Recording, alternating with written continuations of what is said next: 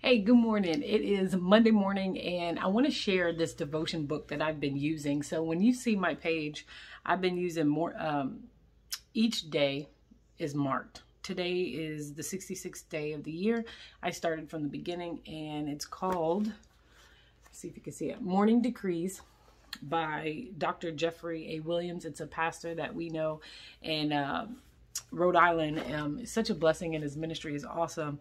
But there's 365 day devotions right? And it's of practical truths of empowering living. So I do these Monday through Friday when I can, uh, but if I post it, um, if I'm not posting it, I'm still doing them. So today's was, it's a grace thing, right? So I guess we're still in this vein of grace. And the scripture that he used was, For by grace you have been saved through faith this is not your own doing, it is a gift of God.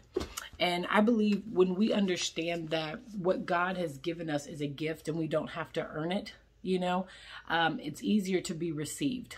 You know, we get caught up again in this rat race of trying to keep up with the world and everything that it has to offer and does, right? Which is by works, it's performance, it's trying to keep up with the status, the trends, I mean, everything, right? It's just so much information that it doesn't even allow us to process what we're doing.